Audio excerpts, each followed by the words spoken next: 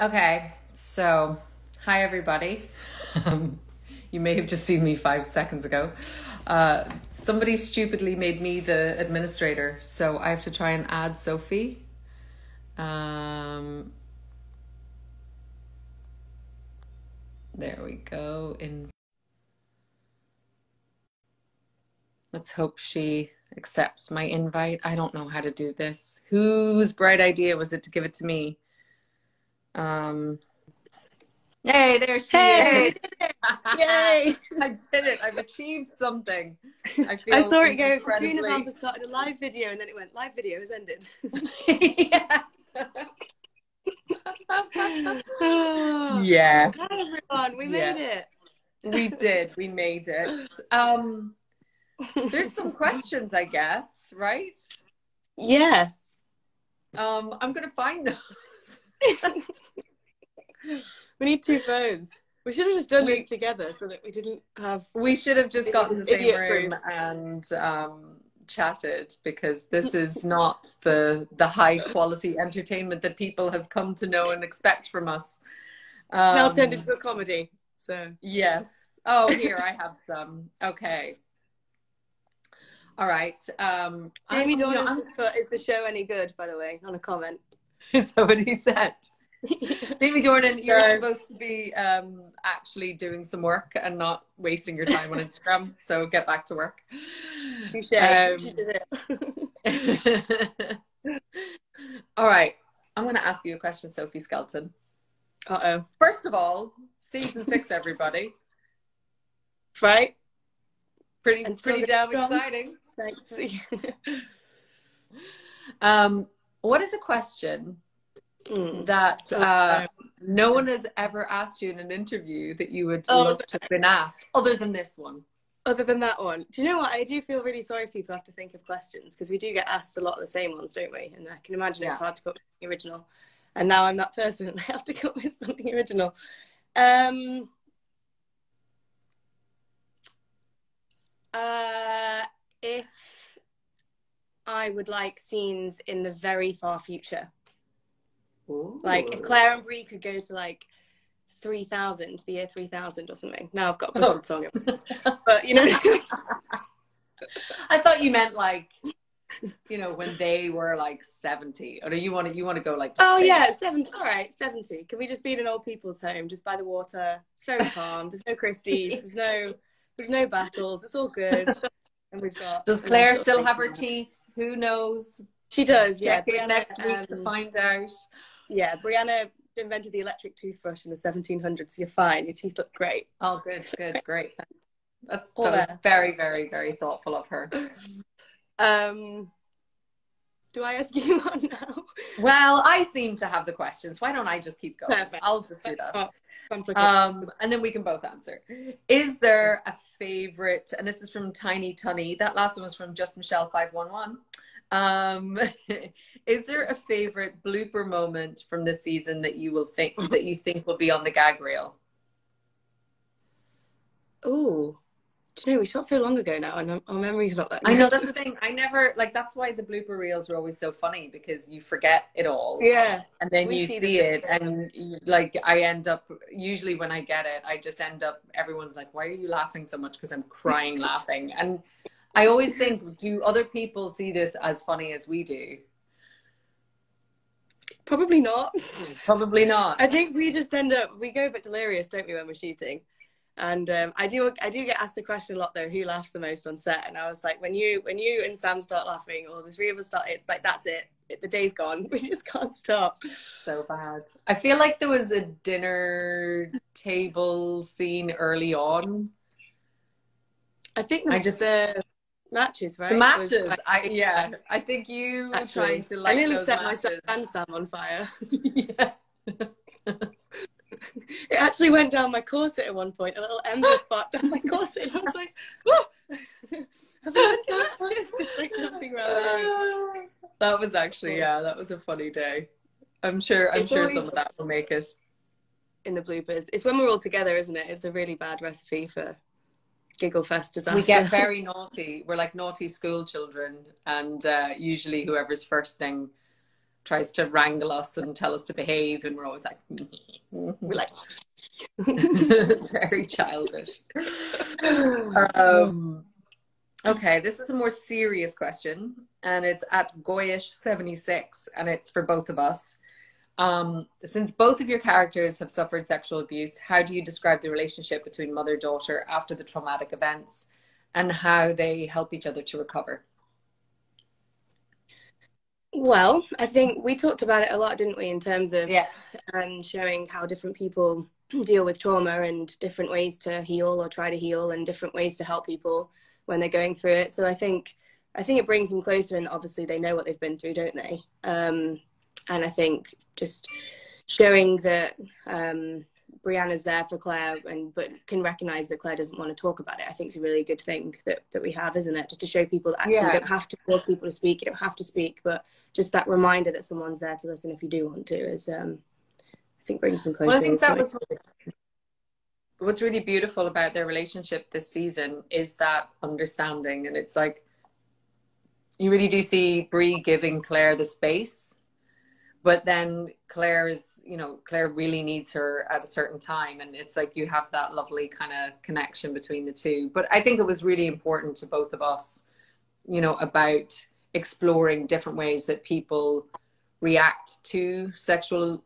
assault and also recover from you know mm-hmm. and i and i think that that was something important that we tried to highlight yeah. All right so at il makier i think um for all well since it's since we got ditched by the boys it's just for us We've dropped like flies. Here we are. um, what was the episode that challenged you creatively the most? Do you want to go first or? Um, I think I think the episode that challenged me the most creatively, I think episode six. I think it's quite, I'm still, I haven't seen it, so I'm not quite sure how it's turned out, but we definitely, stylistically, they were kind of going with a new thing. And also, you know, it took us a while to get to the script to, it's hard to say it without giving stuff away, but we're really exploring, I guess, Claire's inner voice. And I think, you know, for all of us to sort of get on the same page with what we thought that was in a way that we were all happy with, um, took a minute. And, and I think, you know, I think we got there and I hope when I see it, I'll be really happy, but I'm not sure. What about you? Well, I'm going to pretend I know what you're talking about 'cause I can't remember which ep was which, but I think I know what you're talking about. Um, and it sounds like it's going to be super powerful. Um, I think, I mean, to be honest, I think it was maybe more. Um, I think, I mean, if we're going to talk creatively, well, I'll talk. I'll do a logistic answer in terms of having kids on set. You know, having Jemmy run around and stuff. It is. We have a lot of lovely scenes with the Mackenzie family this season, but um, yeah, the kids tend to complicate it more than we do, don't they? we might be more childish, but We're big kids, but yes, there's a lot of wrangling with little kids too. Yeah. yeah. So yeah. All right. Maneuver them. Um, if you had to be stranded on an island with only one character from the show for an entire month, there's an ant on my phone. Um, which character would it be? Is that your desert island pal? This little ant. my ant? Why is there an ant on my phone? Um, yes, who would you choose to be with? I mean, this is quite pathetic, but I'd probably choose Rollo. But um, I think practically, I'd probably choose Claire. I mean, if you're on an island, I was gonna choose. I was gonna choose Brianna because I was just Well, like, well, go. desert island.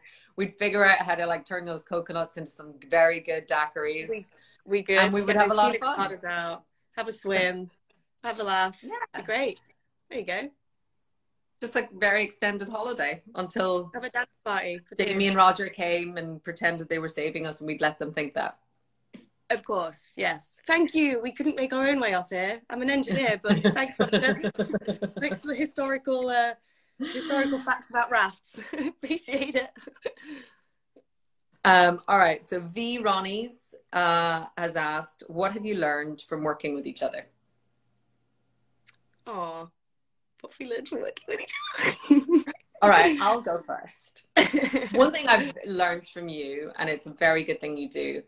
Sometimes when things aren't working on set, and you're asking about notes and stuff, when I do it, I get very emotional and I get very like, I go from calm to very emotional quite quickly sometimes. And, you know, sometimes I can get slightly frustrated quickly, but you have an amazing capacity to stay calm. And it's such a good lesson. You're very methodical in your um, dissection of things and why it isn't working, but you're very, very calm when you are trying to find solutions. And I've definitely tried. I'm still trying, but I've definitely tried to to absorb some of that. Well, thank you. In in your defense, corsets don't help remain calm, do they? Let's be honest. No. like heightens anything. Um, I think from you, it would probably be the fact we work in such tough conditions, and people can often forget about the crew or SAs or what they're going through and you are very very good at taking care of everybody and fighting for them to have you know heaters and make sure everybody is taken care of. And it's um it's big credit to you because not a lot of number ones would even think about it. So yeah. Well show doesn't get made without them. Exactly. Exactly. But some people and they are very integral and important to the whole process. So yep Anyone who's a first AD or anyone who's a producer or anyone, remember to look after everybody. Mm-hmm. Everyone's just as important. Exactly. Um, okay, Wakeful Wife uh, asks, um, it's Caitriona, you've said you use music to get into characters' headspace, but for everyone, what's on your playlist that helps you get into character? Ooh. Or do you use music? I actually, I rarely use music, but music. um, I rarely use music. I don't use mu- music. I don't. I don't do that. Um, there was one song. I feel like it was an Enya song or something.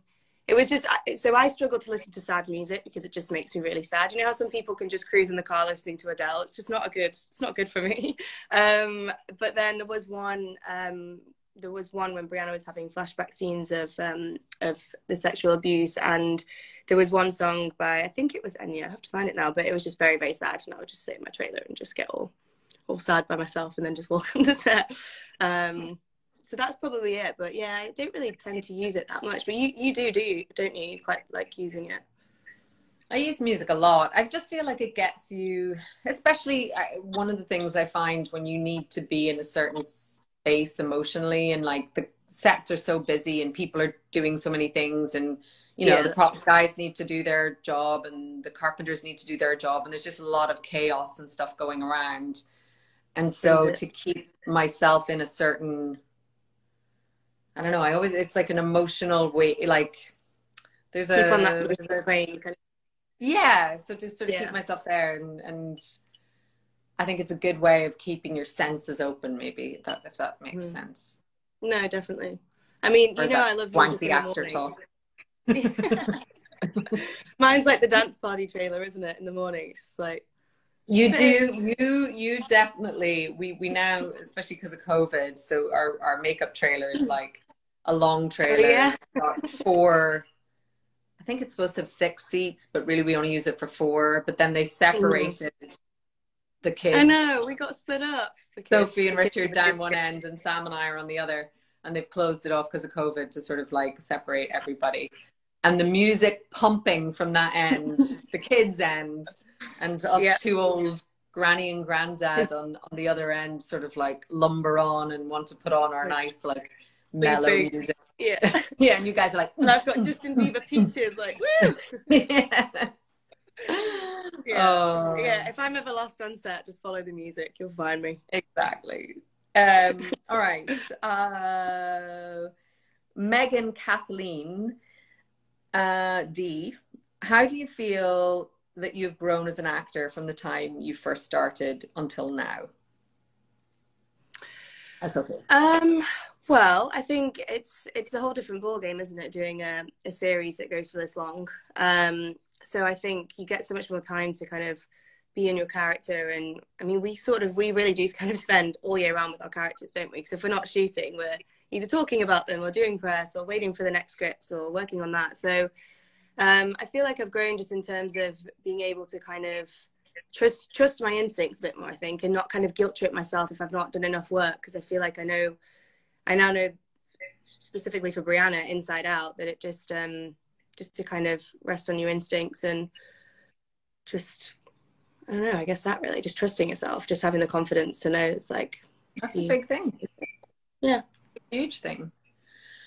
Um, I want to say it's funny. I, we were talking sort of about this yesterday with uh, someone, and when I first started, because I was so green and hadn't a clue, um, I used to find it really difficult if, like, you know, they had like a, a, a reflector board very close to me, or if I couldn't see the actor directly, or you know, if, or if the if the going like this in your line.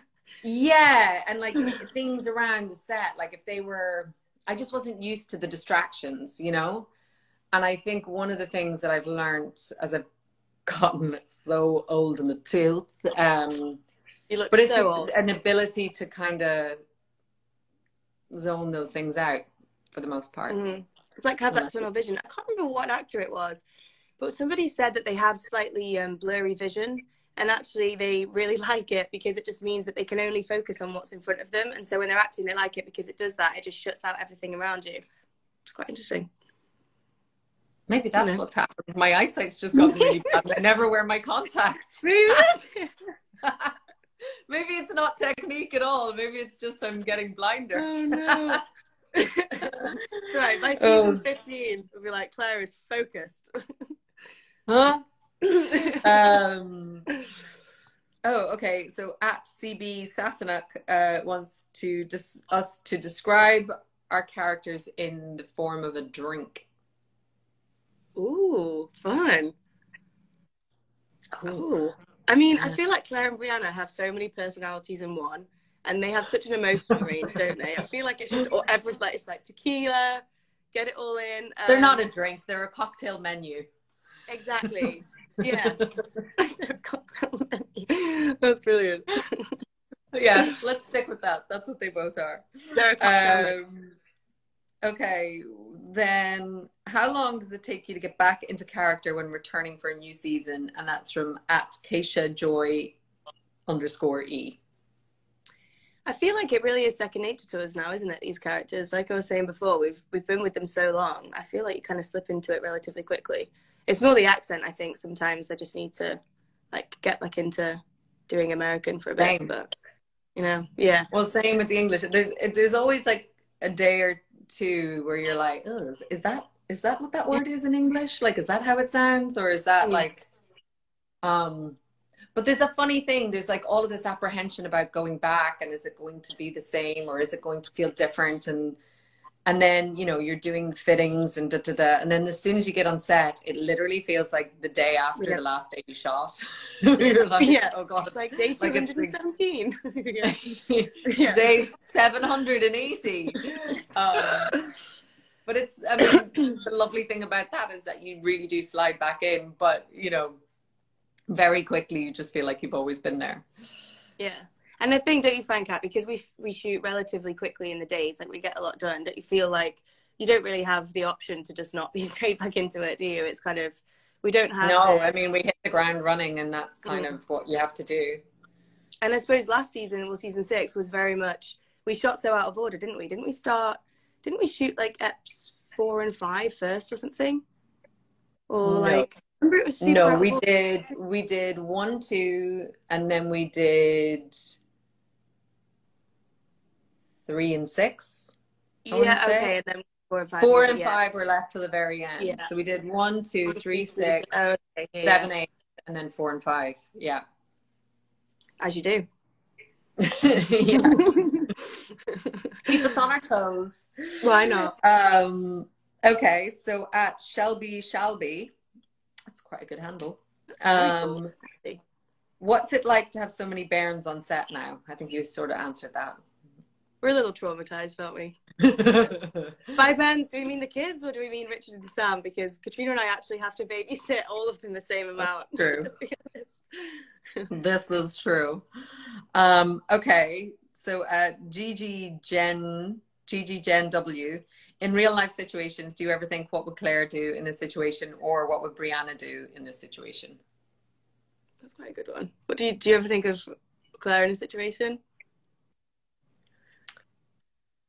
I hope it's never like somebody. In, I feel like one day yeah. I'm going to be hiking on a trail or something. I was just going to say this. Someone's going to fall someone's, over, and you're like, someone's going to fall over, and I'll be like, I got this. I can do the bandage. All I need is clean cloth and hot water, and I can do it. But let and me then get I'll my realize bandana on I first. Huh? like Claire get a bandana on in the wilderness of like yeah, like the clean the clean cloth is for me to get my, Exactly. my nurse's bandana on. I'm ready. Um, what about you? Is there Um, is there you know if you were walking actually- past a dike and there was a hole in it and water spraying, would you be like, ah, like here. No, do you know actually when I did uh, one time I can think of when I thought what would Brianna do was uh me I'm just very stereotypically English in that I always apologize for myself. And I remember you and I were walking in Glasgow in the Botanics, and I think I tripped over a step or something, or like my own feet, which I tend to do. And I apologized to the step. I was like, oh, sorry. And then I was like, why am I doing that? And I'm trying to channel Brianna more because I just feel like she's so unapologetically herself and just like confident in who she is and ballsy with it. Whereas I'm just like, oh, sorry, sorry, sorry. And that was the time actually when I thought, wow, I need to channel some more Brie in my life. what would Brianna do? Brianna would not apologize for the step. exactly. Or a lamppost because I've done that as well. She'd go back and she'd kick that step. Exactly. tripping her would. up. She would actually. She loves to just kick and punch things, doesn't she? Maybe that bit I'll uh, keep away from. Uh, um, okay, we are we're getting through them. Um, at always Jizbun, um, what lessons about motherhood have you taken from playing Claire? Um, maybe, I mean, it probably won't come into play until much longer. But one of the things, you know, that keeping things from your children creates um, distance and I think you have to be your authentic self with your children. Um, and when you are, then that's when, you know, you really have that strong bond. That's nice. That's a good one. Yeah. Um, Anna Kate 90. Oh, we've sort of answered that. Okay.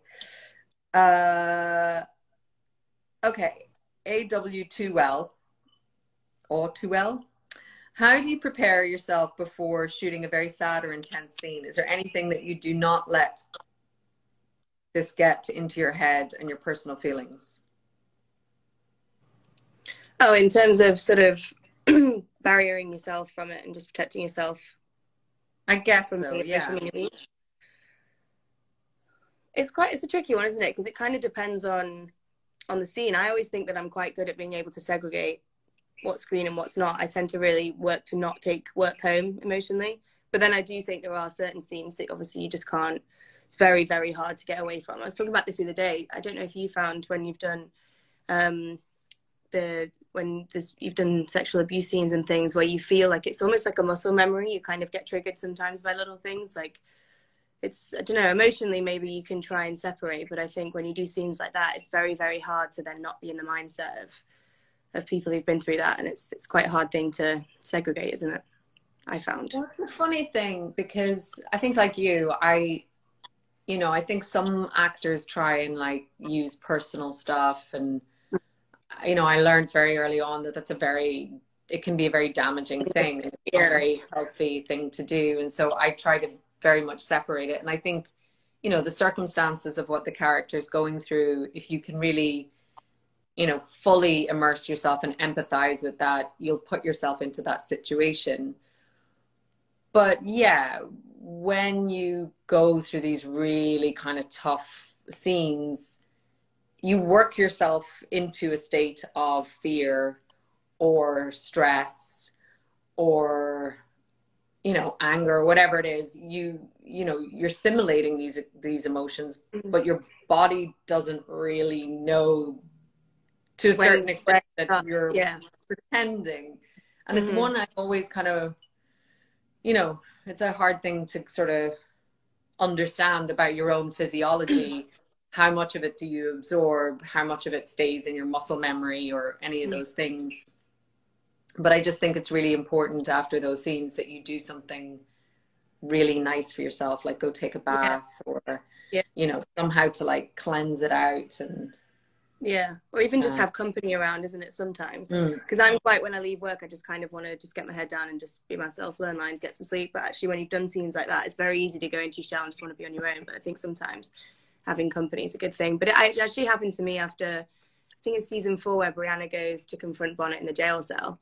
And after the scene i just because i wanted to make sure that brianna didn't look weak to him. I didn't i didn't want her to show her emotion to him. So i was holding so much in and then when they yelled cut i just like I just couldn't stop crying. I was like shake crying for about 10 minutes. Um, I don't think the director knew what to do. It was Mersey who was amazing. And she was like, Are you, you cool? We good? I was like, Yeah, I'm just, it just finally came out. And it's one of those things that, yeah, it's uh, like you said, your body doesn't quite know that, um, yeah, that it's not real sometimes. Yeah. Oh. Give you hugs.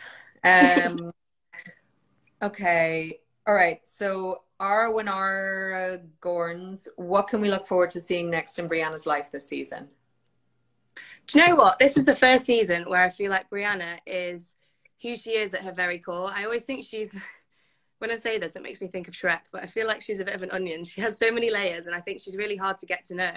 And I think we've seen her go through so much that she's been very reactionary. She's been maybe a bit bratty when she was younger, or she's been angry, she's been sad, she's been everything. This season, I just feel like she's just calm and collected initially for a little bit um, and i just think she's really settling into married life and motherhood and actually she's um, just the calm calm amongst the chaos this season i feel so yeah Yay. yeah cool collected brie this season here we go Cool. Um, right. We've got three minutes. So, we'll do one more question. Um,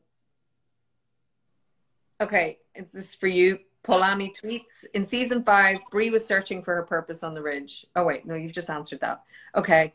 Tina four two seven six six three two six for Sophie. Did you how do you how do you prepare or research for Bree's engineering interests and skill in order to portray it so well? Ooh, um, there is one thing that brianna invents this season well there's a couple of things but one of them i did actually go back and read um, just all about how and when it was actually first invented and really how the mechanics of it work. Um, and also, actually, my best friend's an, an, engineer, so just ask her the odd, the odd little question. Um, yeah.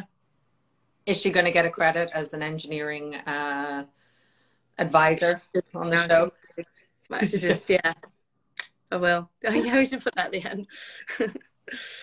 um, what about Claire's medical stuff? I suppose it's quite good when we have the nurse on set, isn't it? To well, we Claire have the Dr. nurse. Claire, not Dr. a nurse, Claire. Dr. Claire, Dr. Claire. um, who's been our medical advisor since season one, and she's amazing. I mean, she's amazing for so many other reasons as well, but um, yeah, just to be able to go through different operations or different scenarios with her, and she's really good because she's like, well, here's what we would do in in the real world in the modern day.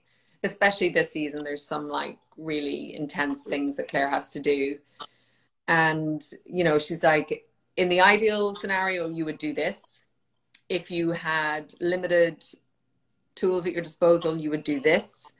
Mhm. Um, and then sometimes she's like, but for filming purposes, we can marry, you know, what you would do with also possibly what they were doing back then, but with your knowledge from this. So she's really good at kind of being able to take Yeah. all of the different information. You know, I think sometimes some people get like, Yeah. yeah, but I think sometimes people get locked into like, well, this is the way we do it now. And she's really good at kind of figuring out what would be the most practical um, and yet the most impactful looking thing. So That's she's cool. incredible. Yeah, because I guess a lot of it now is about making it clean and tidy as well, isn't it? The end result. Whereas I guess for Claire, it's more just getting it done in a certain time frame Yeah. as opposed to it being, you know, sort of pretty looking stitches that don't leave a scar or whatever. It's very much Exactly. just getting the job done and yeah. Exactly. To get Um, Claire yeah, staple gun. that's what Brianna should be uh, should be inventing. This is All right, it. guys. I think this is our time. Fun. You are the best um, panelist ever. Thanks. Good host. Just, just call me host. Um, I look. I'm. I'm just proud. I managed to get on live uh, a second time because that first time was Caitriona and. I in. I was like staring at the screen.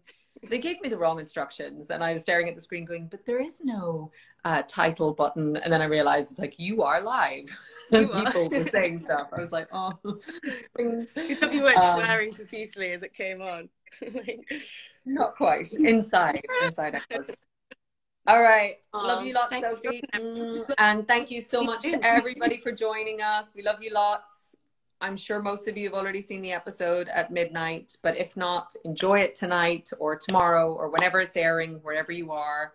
Um, we put a lot of hard work into it, so we hope you really enjoy it. happy end of Droughtlander. Happy Bye, end of Redlander. Bye. Bye. Love you. Bye. Love you too. I don't know how we get off this now.